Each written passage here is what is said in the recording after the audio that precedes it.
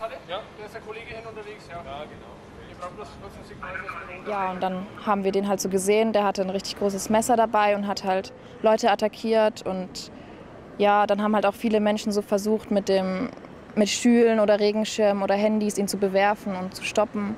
Ja, aber das hat alles nicht geklappt so. Also die Polizei ist dann halt zu ihm gefahren und ich denke, es ist ein Schuss gefallen. Also das hat man auch deutlich gehört.